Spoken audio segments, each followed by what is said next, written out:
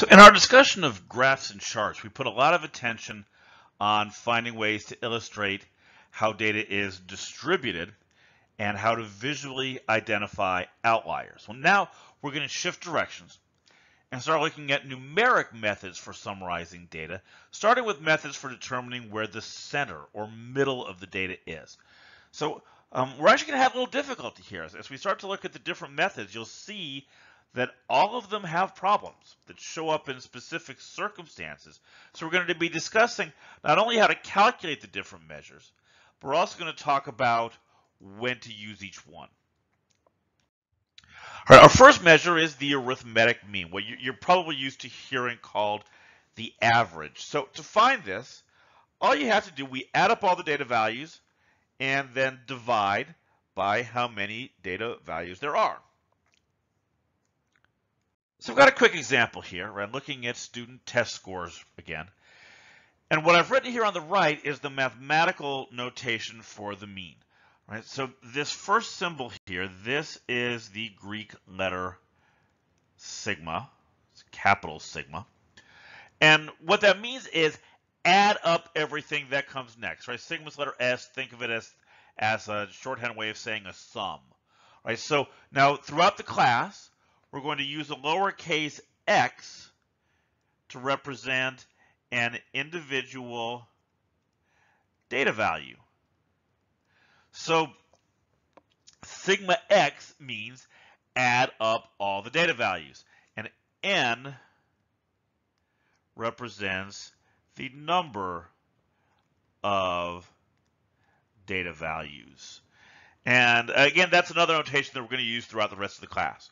So next to that, I've got the actual calculations. The sum of the data values is 17.21. There are 24 values in the table, right? And if so, if you take 17.21 and divide that by 24, you get the mean or average grade. That is 0.717. So I've got three similar data sets here. And what I'd like you to do is just for practice, try calculating the mean of all three of them, right? And then we'll talk about why each one is significant. Okay, so for the first data set here, this is 250 divided by 6, and that's 41.67. The second one is 250 divided by 5, which is 50. And the right-hand one, this one, if you add them all up, you get 360. So this is 360 uh, divided by 6. Excuse me, that should be 350. Checking my math in my head here. That's 350 divided by 6, which is 58.3 three. So those those are our means. Right now, um, what are we seeing here? Right, that makes the difference between the two outer sets and the middle one. Right, the difference between these two sets is 8.33 if you subtract the two, and the difference between these two is 8.33. Right, and that's a fairly significant change, right? That's almost a whole letter grade difference. And all I did to get from one of these to the other was change a single grade, right? I added a single grade here, the zero, and I added a single grade here, that's the 100, right? Now, it was a significant change, right? That grade was significantly different from the others, and you can see that visually right? I've graphed all three of those data sets here, right? And you can see how distinct that zero is from the rest of the data and how distinct the 100 is from the rest of the data, right?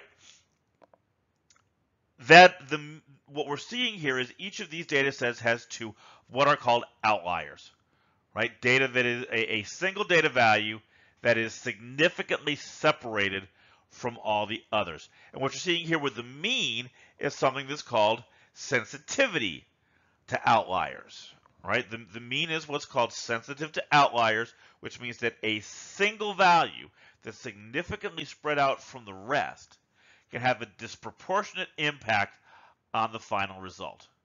All right, so with that in mind, the mean is your best choice for a measure of the center of the data when the data is relatively evenly distributed. And you can see that's the case here in, in the middle set, where the data is evenly distributed on both sides of that mean value, right? It wouldn't be the best option for the left and right data sets because of those two outliers, which are causing the data to be what's called skewed.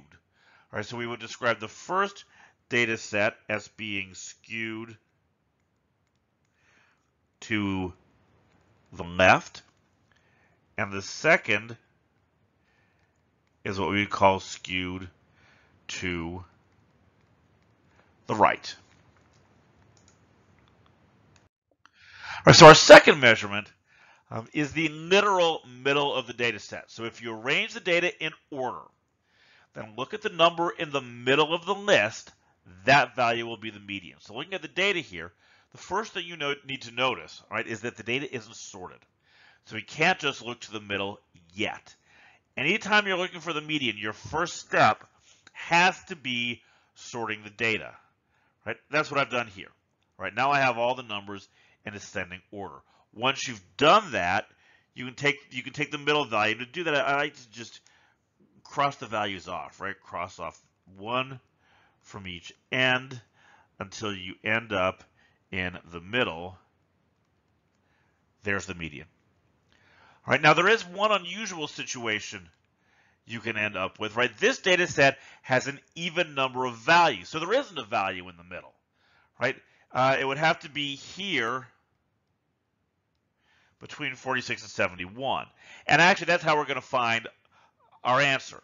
If we average these two middle values, 46 plus 71 divided by 2, we get 58.5, uh, and that number is the one that we'll use as the median for this data set. So why don't you try the same exercise here that we did with the mean, right? Determine all three medians, uh, and then we'll talk about how they compare. Right, so hopefully you saw in all three cases, you should have come up with 50, right? The same value for all three. So what we're seeing here is the exact opposite of what we saw with the mean. The median is generally not sensitive to outliers. So when we have data that isn't clustered around a central point, like the middle set, the median will be a good choice for a measure of the center of the data because it's not going to be unduly shifted by those outliers. Okay, so those are our first two values, first two measures, the, the mean and the median. In the next lecture, uh, we're going to look at the second two of our measures of central tendency. We're going to talk about uh, the mode and something called the mid-range.